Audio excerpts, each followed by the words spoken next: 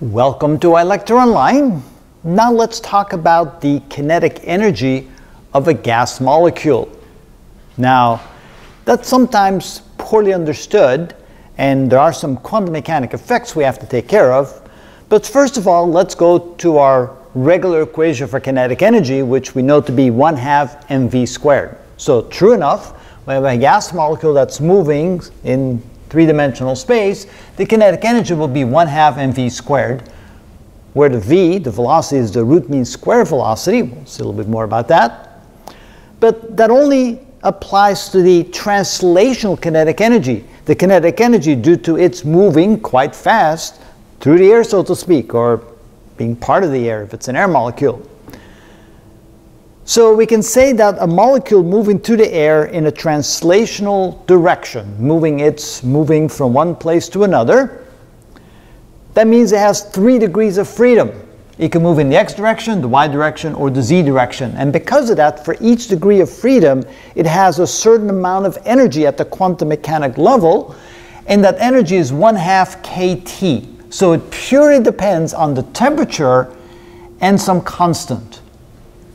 Well, the K here is derived from taking the gas constant and dividing it by Avogadro's number. It's essentially the gas constant for a single molecule instead of the gas constant for a whole mole of molecules. So therefore, if we take the gas constant for a mole of molecules and divide it by Avogadro's number, the number of molecules in a mole, we now get the gas constant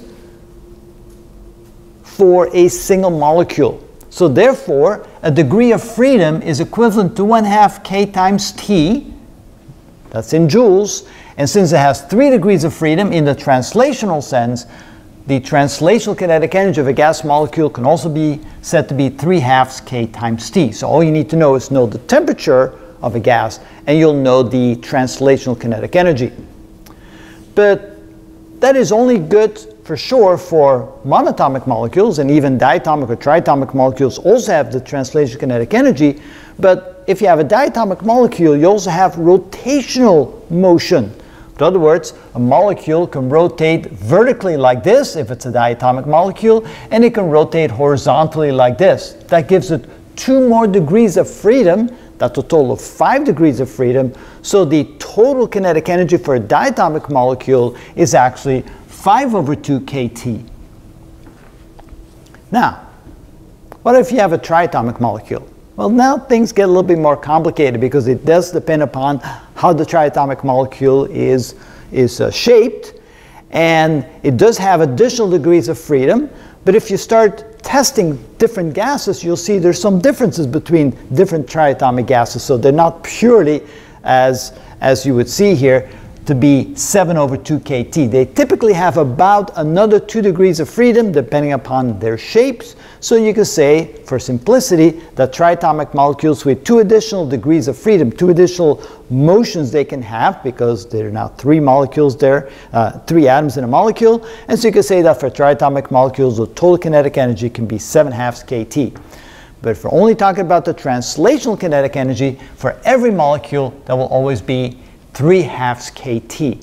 Now that's important when we also talk about different thermodynamic processes and the heat capacity of a gas, which depends upon how they can store heat. And depending upon how they move, they can store different am amounts of heat, and we'll talk about that in a future video.